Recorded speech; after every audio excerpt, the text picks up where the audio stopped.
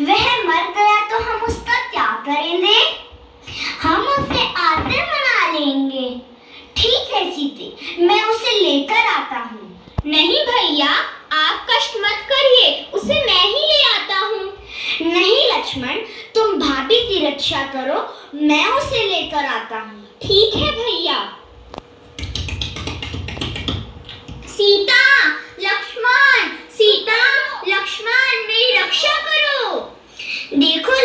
तुम्हारे भैया संकट में हैं। नहीं भाभी, मेरे भैया बहुत बहादुर हैं। उन्हें कुछ नहीं होगा, आप निश्चिंत रहिए। लक्ष्मण, तुम मेरी आज्ञा का पालन करो और यहाँ से जाओ। ठीक है भाभी, मैं यहाँ से जा तो रहा हूँ, लेकिन मैं आपके लिए एक रेखा खींच रहा हूँ। इससे मत लांघिएगा, मेरी बात का मान रखेंगी ना आप? हाँ अब तुम जाओ। अरे भैया, आप तो यहाँ स्वस्थ खड़े हैं मुझे आवाज़ किसने दी थी लक्ष्मण वह एक दुष्ट राक्षस था। सीते खतरे में है।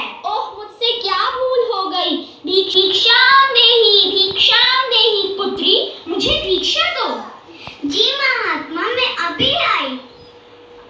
अरे ये क्या है? इस रेखा पर पैर रखते ही मुझे कोई चीज़ पीछे क्यों धकेल रही है?